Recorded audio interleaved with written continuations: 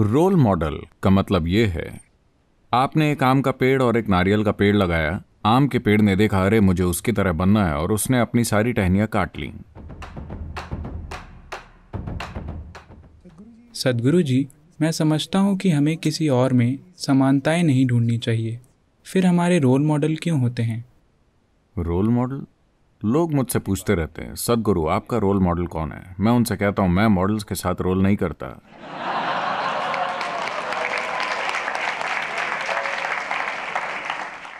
आप, ये सारी चीज़ें पश्चिमी सभ्यताओं से अपना रहे हैं।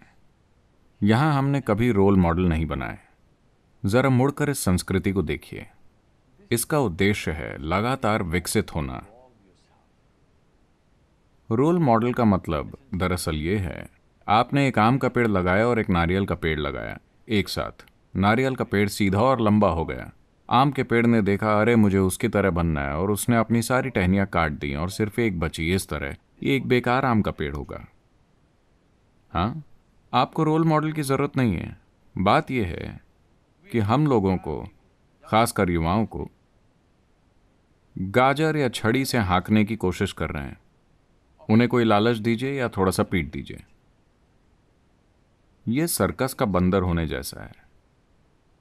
आप चाहते हैं कि सर्कस का बंदर करतब दिखाए। आप उसे एक केला दीजिए, वो करतब दिखाएगा और फिर इस तरह बैठ जाएगा।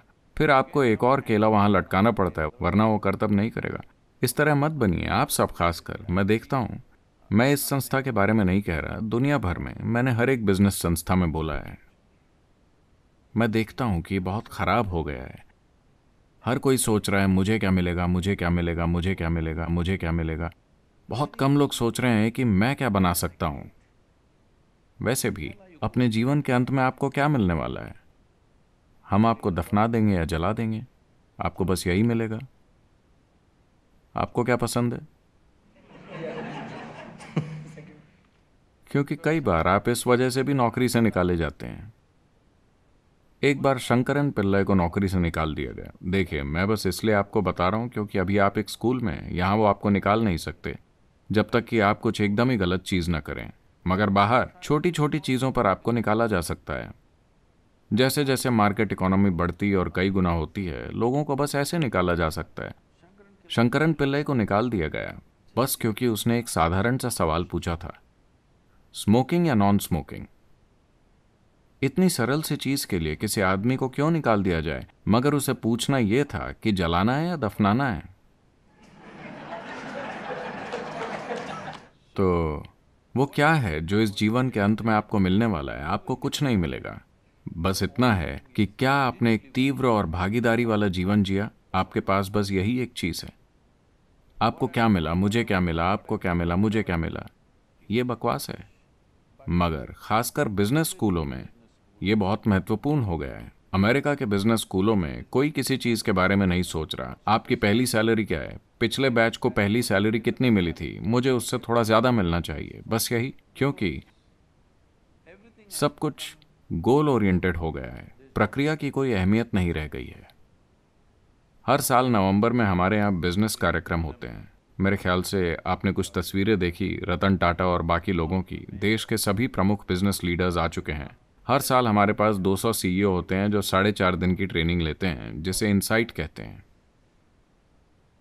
पिछले साल इनमें से जो एक काफ़ी बड़ी मल्टीनेशनल कंपनी चला रहे हैं, वो बोले, सदगुरु, हम देश के आईआईएम और आईआईटी से सबसे अच्छे लोगों को चुनते हैं और उन्हें साल दर साल अधिक से अधिक वेतन देते हैं। मगर आप आपके पास यहाँ एक भी आईएम नहीं है। मैंने कहा, मेरे पास केवल स्कूल ड्रॉप आउट्स हैं। मगर आपकी संस्था हमारे कॉरपोरेशन के मुकाबले कहीं बेहतर तरीके से चलती है, ऐसा कैसे है? मैंने कहा, देखिए, बात बस इतनी है। आप लोग गोल ओरिएंटेड, यानी लक्ष्य केंद्रित हैं। आप कहीं पहुँचना चाहते हैं। यहाँ जो लोग मेरे लिए काम कर रहे हैं, वो ये भी नहीं जानते कि जाना कहाँ है। उन्हें फ़र्क भी नहीं पड़ता कि वो कहाँ जाते हैं। वो बस यही जानते हैं कि वो प्रक्रिया के लिए पूरी तरह समर्पित हैं। अभी वो जो भी कर रहे हैं, वो उसके लिए इतनी पूर्णता से समर्पित हैं कि उनके अंदर जो कुछ भी है, वो उसे एक काम में अभिव्यक्त हो रहा है। एक इंसान यही कर सकता है, या तो आप अपना बेस्ट कर रहे हैं, या अपना बेस्ट नहीं कर रहे हैं, है ना? भले ही आप किसी के जितना अच्छा ना कर सकें, मगर सवाल यह है कि क्या आप अपना बेस्ट कर रहे हैं, अपने जीवन के हर पल में?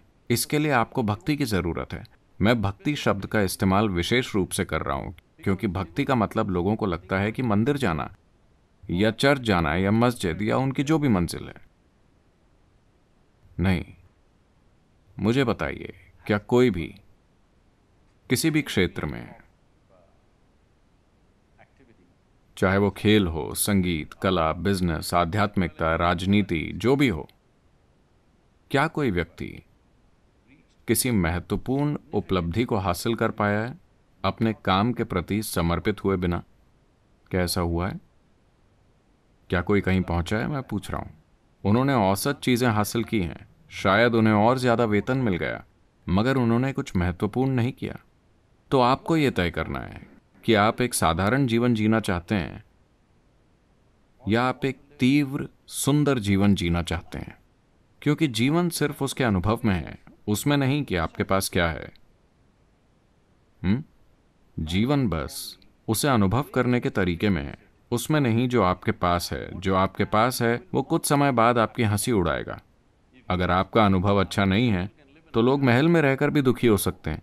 तो आपके पास क्या है? ये मुद्दा है ही नहीं। आप हर चीज़ का अनुभव कैसे करते हैं, ये मुद्दा है है ना? मगर अभी पूरी दुनिया इस दिशा में चली गई है। आप युवाओं को ये बदलना चाहिए। आपके अनुभव की तीव्रता इससे ज़्यादा महत्वपूर्ण है कि आपके पास कितनी सारी संपत्ति है है ना?